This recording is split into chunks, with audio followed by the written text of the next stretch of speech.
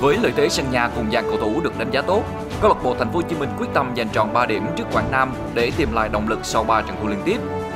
Trong khi đó, đội bóng xứ Quảng cũng cần một chiến thắng để tìm lại niềm vui sau trận thua tại cúp quốc gia mới đây. Xuyên suốt 90 phút, cả hai đội đã có những tình huống tấn công nguy hiểm về cầu môn đối phương, nhưng hết lần này đến lần khác, bóng va cột dọc và xà ngang trong sự tiếc nuối của cầu thủ đôi bên. Bên cạnh đó, đây là một ngày thi đấu tốt của hai thủ môn Patrick Lê Giang và Văn Công với nhiều pha cứu thua đẹp mắt, giữ lại một điểm cho mỗi đội. Trận đấu ngày hôm nay thì kể cả hai đội nhập cuộc vẫn đang còn có một cái gì đấy hơi căng cứng. Đấy. Cho nên là, là, là, là chưa được đẹp mắt lắm.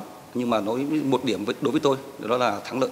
hàng phòng ngự chúng tôi đảm bảo hơn so với các trận đấu trước và cái về khâu ghi bàn đó là một cái điểm mà chúng tôi cần phải phải khắc phục và phải xuyên suốt và làm lại trong các trận đấu sắp tới.